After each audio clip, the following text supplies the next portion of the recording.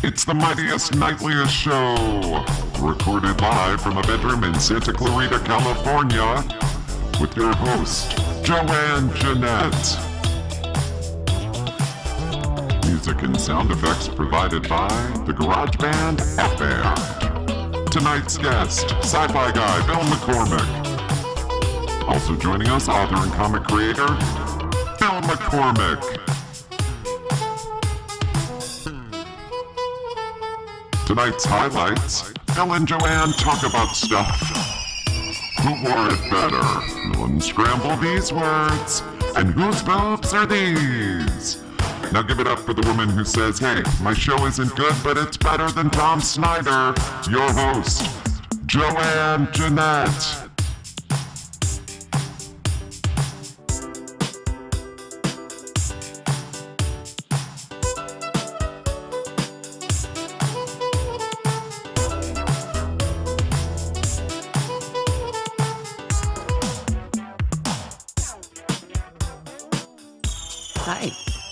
Hi, how you doing? Good. Sorry it took me a while. I had No, to pick up the mic. It's been in this engine. How cold is it in Chicago right now? Uh, like 30, 35. It's the same here in California. I, I take that back. It's, it's literally 33. It says my computer gives me the update. Oh my gosh. No, it's really cold here. I- I'm thinking about moving uh, either back to Chicago, Dayton, Ohio, or North Carolina. Because California, LA, ugh, there's nothing here. Okay, so it's Bill McCormick, everybody. Hey, everybody. It's uh, Bill. And um, so you're the sci fi guy, but you're so much more than that. You're so much more than that. Um, first, you were recently in the hospital. Yeah. What happened? Are you okay? I mean, you don't have to talk about it, but are you okay? Oh yeah, yeah, yeah. yeah I'm fine. Um, uh, I was in in um in June for uh, severe dehydration because I had diarrhea for three months. Oh my gosh, three months, like every day. Yeah, yeah every day. And then uh, then I still had it for a while, and then then they wanted to put me in to do a colonoscopy but but because of COVID. They couldn't get an open bed until December, so Oh they my just gosh. they just put me on these meds to try and plug me up a little bit. And um, This- finally got went into the hospital, and they just got, oh, you know, I I love it when I came out when I was waking up in the hospital bed, you know, and they they bring in the report with you, and it's like, and my doctor is a teaching doctor, so he has students with him, right. and um, and they're like, okay, so we got found a good amount of cancerous polyps in you, and I'm like, there's no such thing as a good amount. Right. Like. A large amount is what he means, right? Yeah, I found seven of them, and uh, but they they all came out, and I looked like I'm okay. So How did they get those out? uh, they, they snip them flush out. them, or they? No, they- no, they they go they go up your butt with the scissors and cut them out. Fantastic. So now that we've had a discussion about things being up your butt, you are a critically acclaimed award-winning author. Yep. Now, in the late '80s, you were right, a writer for Rocker magazine. Remind me of Rocker magazine. Was this out in New York, Chicago? What was this? It was literally called Chicago Rocker Magazine. or Chicago Rocker. Okay. Yeah, and uh, I wrote. Was it like the. Reader, or what? Like what was it No, like? it was it was it was a suburban metal scene magazine. It was dedicated Oh, to- cool. um, is you know there was this guy named Tony LaBarbera who's a promoter, and it was kind of to highlight. They're always named Tony, but go Yeah. on. Yeah. yeah, he uh he, he was he highlighted he wanted to highlight the bands he worked with, of course, and then um we highlighted a bunch of other stuff, and I I brought in kind of a more of a city feel for things, and um I was still I was doing a radio show at the the Beat of Chicago at WYTC FM, that's ABC in Chicago, Yeah. and I was with them for um, six seven years, and so.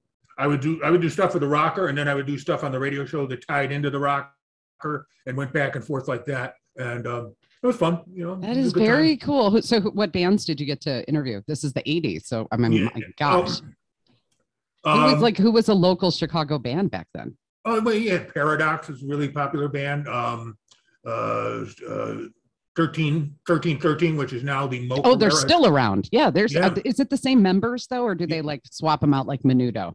Uh, there's some, some, some of them swapped out. Some of them, like Paradox, uh, the, the one brother died of a drug overdose. Mm. So, you know, they're not doing, he, he's, he's playing as John Dobbs now. He's not doing Paradox at all anymore. Okay. did you Um, see my T-shirt? Look at this thing I found. The The young, young ones. Remember Yeah. that? Yeah. I found do. that at a thrift store. I was like, oh, I have to buy this. Um, okay, so um, that is. You also worked at Z95. Yeah. I didn't know that. How didn't I know that? I don't I know don't why I didn't know that. Okay, so you pub you publish comics and you've been doing this independently for at least a decade now, right? Not quite. Um, I started. I got my start in 2016, um, and I don't publish them. Um, I write them. Uh, there's a company called Hadithi Simbaba that does the publishing part of it.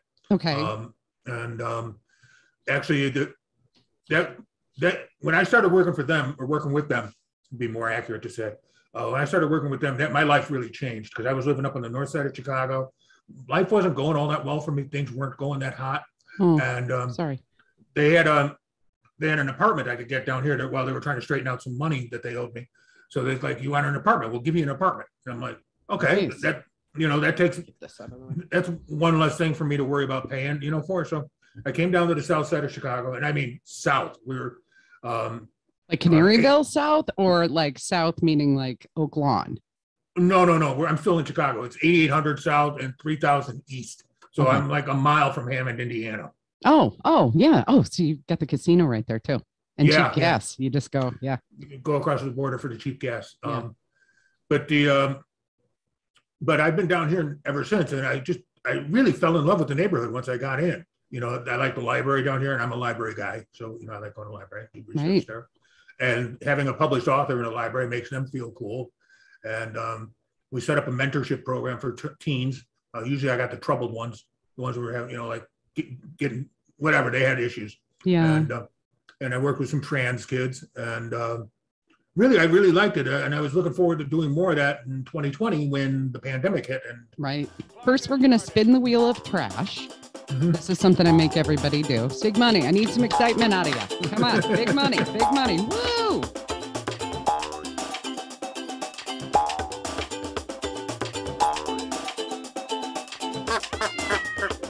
Offer unconditional positive regard to someone. I don't know what that means. And then here's what I got to do today. Lift off and the clock has started. Ah, spin again. Hold on. Oh, just give me something good.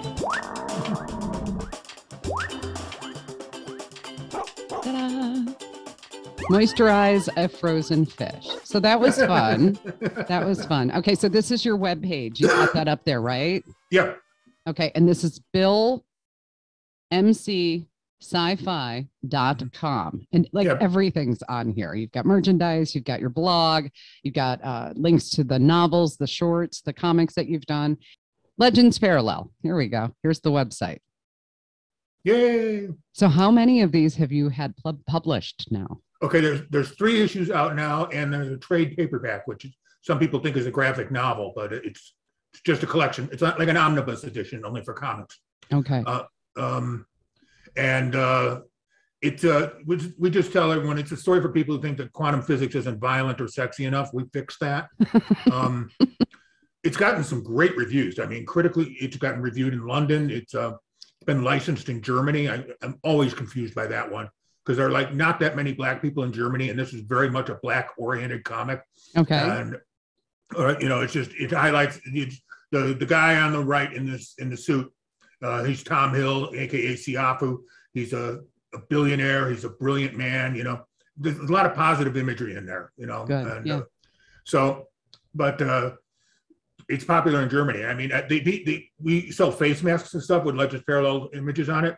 Very and- cool the one with the Sikh, Sikh character, uh, Aramar Singh, that sells all the time in, in Germany. I'm like, I, I don't get that at all, but you know, where what because there's nothing like that out there i'm thinking no, prob- probably not, probably not. right and it is Yeah. m for mature so you Yeah. know um and, and that's mostly because there's boobies Uh, there's boobies, there's dongles. Uh, no, we're we're equal opportunity exploiters. that's awesome Uh, okay um, We just we, we wanted to create. People get it. I, I, we wanted to say something like, you can go on TV and blow away a box of kittens with a 45, and everybody's like, ooh, i know That's edgy.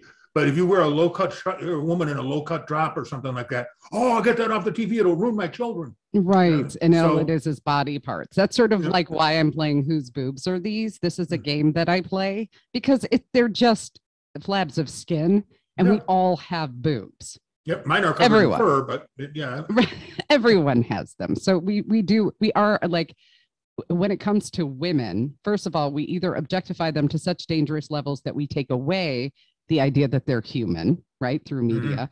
But then when we show that, it becomes so offensive, like we're this puritanical society. Now, you're way more comfortable. Like I'm Catholic, so I was raised very like sexually repressed. I, like I'm just not like woo. Like I'm not. I would never be. I've gone to spring break and I've been around people going woo, but that's just not my my thing. Like I'm not like that, you know. But again, you're right. Catholic. Right. Uh, but violence is accepted as normal, but then a pair of breasts are not, or Right. legs, or you better cover up your knee, or, you know, and so growing up, you know, a woman in Catholicism, especially in the 70s and 80s, I was shamed for just existing. Yeah. You know, they shame you for everything. Your knee is showing, your thigh is showing, your, you know, you bent over the wrong way. Like you're constantly being policed by everyone around you as to protect the boy's eyes. Yeah, no, I- look, I went to a Catholic school. I was raised. Catholic. So, yeah, Right. I Yeah. remember nuns walking around hitting people with rulers. You're not, you don't do that. No, the- and then the other thing too because we had to wear the uniforms and they were Mhm. they were flat front um chino pants which Right. became very difficult for young boys who were teens that Yeah. were having moments you know that were sort of beyond their control because they're flat fronts. So it's very obvious right so a lot of the guys would untuck their shirts but then they'd be in trouble for untucking their shirts Right. so I don't know. I think that's my, but you're very comfortable with this stuff. I'm not always so much. This is uh, Rosario Dawson. Yeah, She's that's a her. big fan of yours, right? Yes, she is. And does she get them like every? She's got all three issues now. Um, she's also got the the hybrid zero comics, That's fantastic. and uh, yeah, um, her niece or her cousin, excuse me, lives here in Chicago, and that's Oh, she we kind of- does. yeah, we kind of all got introduced informally, and that, that was kind of cool. That's very cool. Here's you at another one of these events. I love that you go out and do it. Mariah Carey. This is where we play Bo- Whose Boobs Are These? Okay, whose boobs are these? Is it the Facts of Life cast, 80s band Vixen, Sex in the City cast, or Vanity Six music group? Uh, I'm going to go 80 band Vixen. Bing, bing, bing, bing. You got it. Can you recognize this boob? Uh, Freddie Mercury. No, just a streaker at some game. But this is funny. What I found funny about this photo is not only is he streaking, but he's like multitasking, right? So Yeah. he's streaking, but he's also like, you know, finishing up his phone calls for the week. Like, yeah, I got to make sure that I, you know, call my accountant while he's being arrested. Whose boobs are that. these? Yeah. I, I love the fact that he's wearing socks. Like I'm not going to get athlete's foot when I'm doing this, you know. I didn't even notice the socks. Good eye. Whose boobs are these? I have no idea. You will totally remember this guy. Slim Goodbody. Oh yeah, There he is with Captain Kangaroo. He was a television favorite in like the mid 70s. yeah. Captain Kangaroo. When he hit his peak in the 70s, I was already up on becoming a teen. Oh, okay. I was So born in. do- 19 I was born a while before that. Do you know who Shelley Howard is? Yeah. Okay, you do. And so these are some of his original art. And I have a book because he was friends with the guy that I worked, Robert Murphy. And so they like lived near each other and they would go for drinks like, I don't know, every Wednesday or something. So I met Shelley a couple times and he gave me a book of all of his classic art. And it's just funny because this is the art that Shelley used to do by hand or with a computer. It would take him hours. Mhm. How how much time do you think it would take you and I to do something of this caliber? At 15 seconds? Yeah. Maybe 30. But isn't that funny how how art and graphics? But this was graphic arts back then, so I thought I would feature these because I thought you'd appreciate them, and I'm glad that you know who Shelley is. Okay, who wore the color? Who wore it better? Who wore green corduroy better? Oh, Julius Ju- Cheeser, Julius. Julius, Cheeser, or Gabe Julius. Kaplan? Okay, No, you like- Julius all the way. Julius all the way down. The coffee Who- cup sells it. who wore it better? Bark Ruffalo or Gwyneth Paltrow? Ooh, tough one. I'm going to go with Barker Ruffalo. Okay.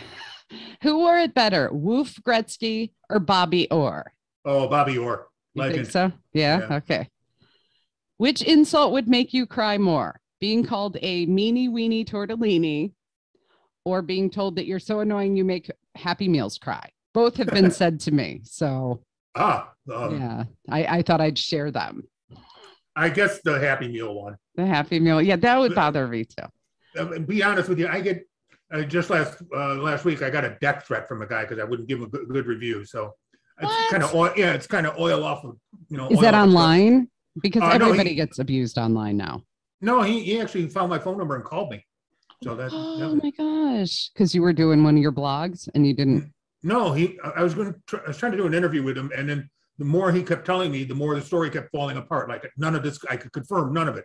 So finally, I just I'm walking away from this. It's a mess, and Yeah. he, he got very mad. He called me all sorts of names, and he's going to be a millionaire, and he's going to ruin me in the business, and Oh. you know, and I'm like, I don't I don't I don't um look to ruin anyone when I become a millionaire. I just want to be a millionaire eventually because everyone Yeah. on told on TV told me do this, this, and this, and you'll get here. And none of that, none of their formulas worked. I So always, I'm I, bitter.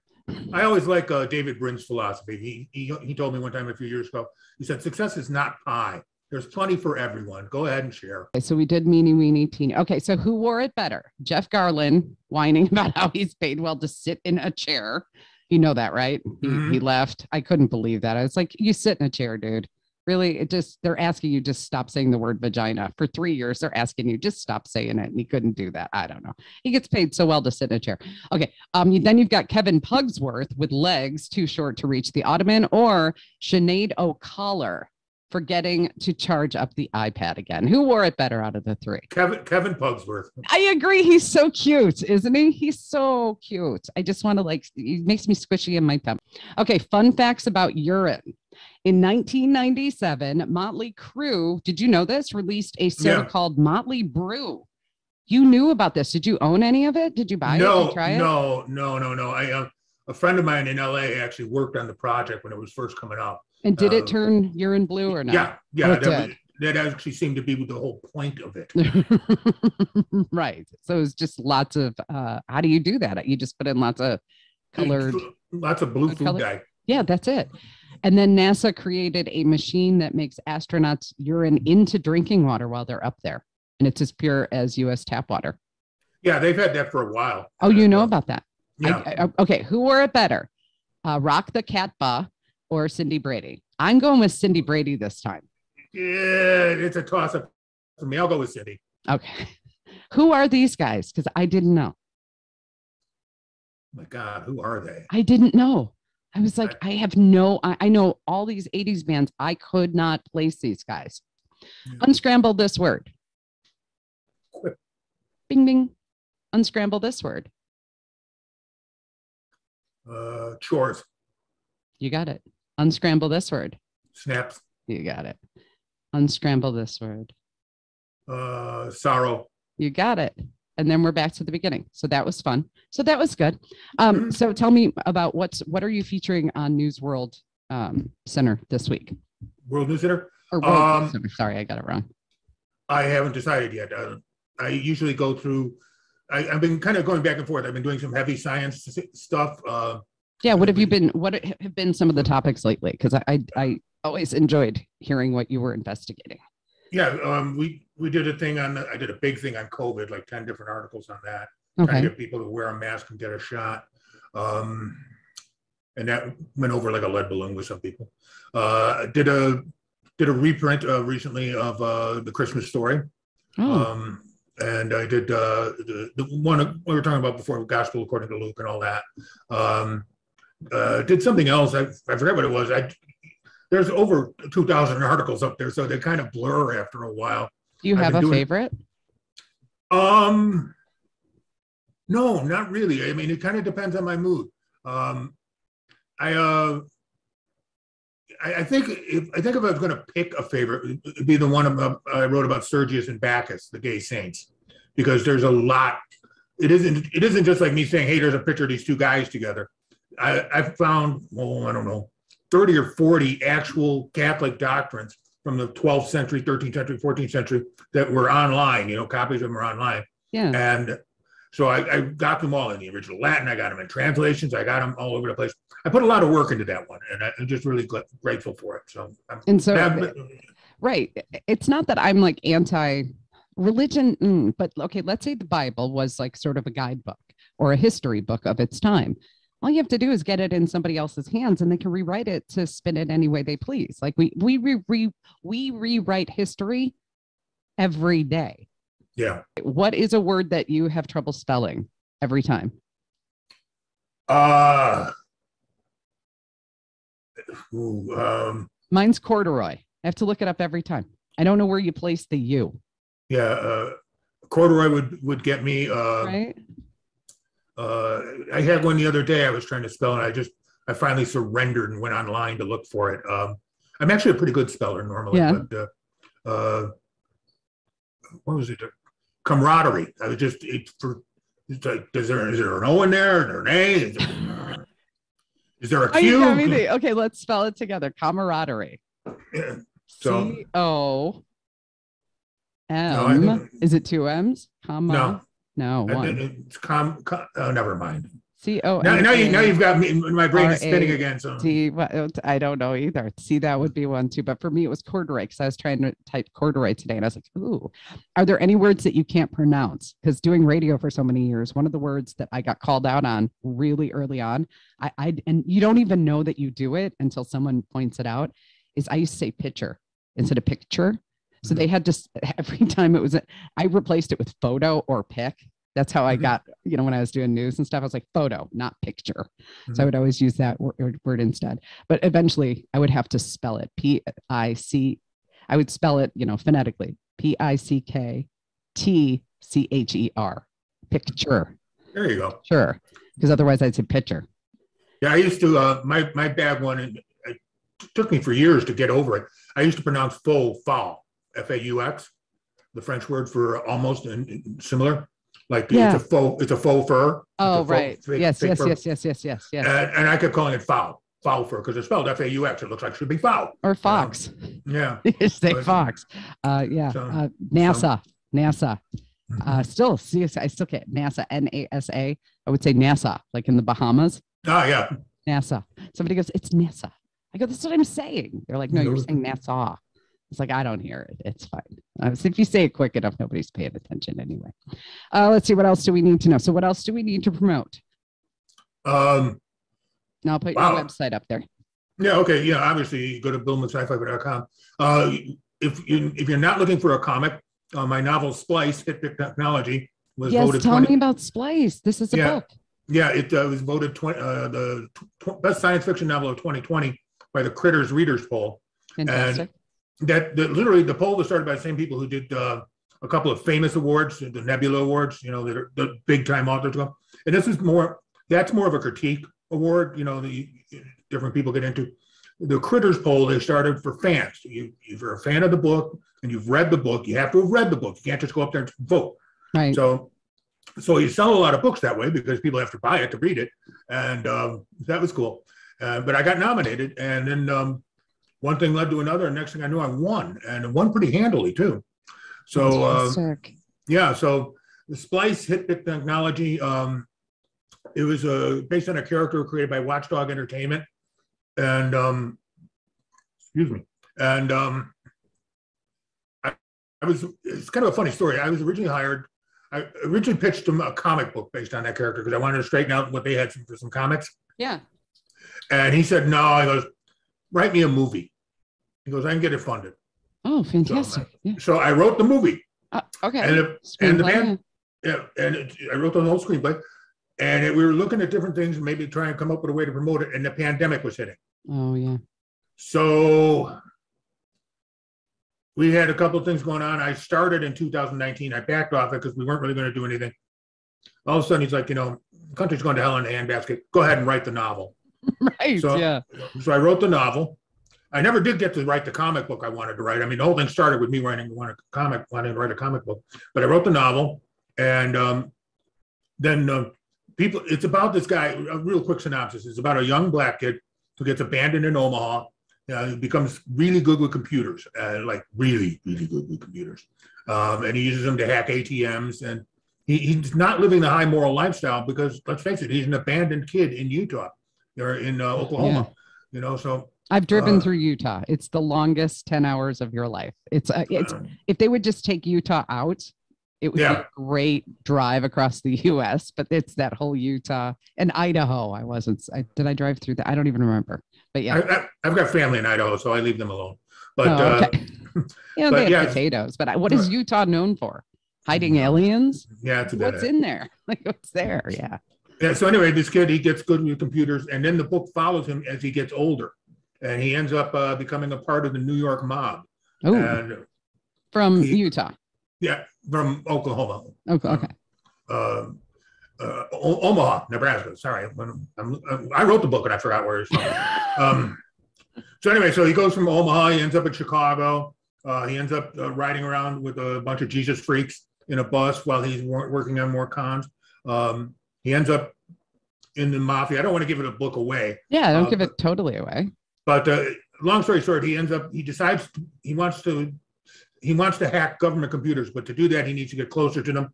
So he and the mob work out a deal where he joins the Marines, and then the book just like the first half of the book gets you to there, and that part of the book takes off like a bat out of hell. Okay. And uh, this guy Josh Grenard, who is a uh, former captain in the United States Army, read it and immediately just gave this five star review. He's like, "This is what the military smells like. This is what it sounds like. This is it. This is like what I heard every day of my life for 20 years or something." And you know, and so that's it. People really get it and they like it. Uh, it's it's difficult read. Uh, it's uh, got a lot of n bombs in it because people don't respect little black kids, and you know, I wanted to get that across. Um, it's got a lot of violence in it, real harsh violence. I get pretty graphic in it. Um, but it fits the book. It- the book wouldn't work without the violence. The book wouldn't work without the things that are in it. Okay. And um, and then, like I said, it won a readers poll, so somebody liked it. People liked it. Um, it's still doing pretty well for us. Um, we're looking at the beginning of the year. We're uh, in talking to option, uh, maybe part partner up with another company or something like that. I don't know what they're going to do, but uh, see about uh, promoting it. You know, because shooting a film during the pandemic as an independent is Yeah. almost impossible because the insurance the insurance that they have out there is insane. Yeah. But we're they're working on new options. It's Watchdogs, baby. Dayton, Ohio is the new uh, Hollywood. They're working on it right now, and they just bought 250,000 square foot warehouse, and they Mhm.